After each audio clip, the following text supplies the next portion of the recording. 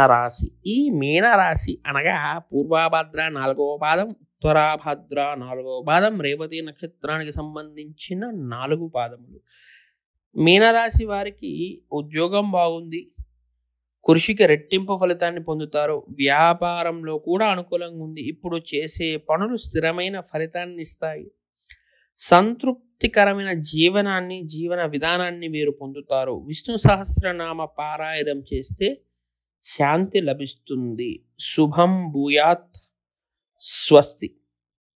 ఇది ఈ వారం ద్వాదశ రాసుల వారికి రాశి ఫలితములు. మీ యొక్క సందేహాలు లేదా ఏదైనా ప్రశ్న మిమ్మల్ని వేధిస్తున్నట్లయితే కామెంట్ల రూపంలో మీ యొక్క సందేహాన్ని మీరు పొందుపరిచినట్టయితే వీలైనంత వరకు మేము తగిన పరిష్కారాన్ని మీకు ఇవ్వగలము.